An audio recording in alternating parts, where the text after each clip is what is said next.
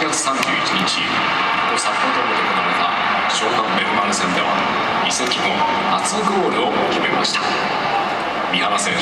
そして相川選手のダイレクトヒールパスから生まれた見事なゴールでした。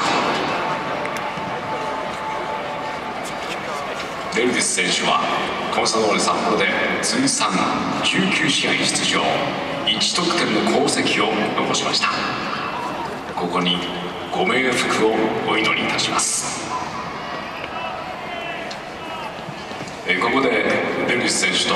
当時一緒にプレーしていたコンサドーレ札幌アドバイザリースタッフの曽田裕氏からゴ・テルディス選手の代理人エドワルド氏にサポーターの皆様並びにご来場の皆様から寄せられたメッセージフラッグが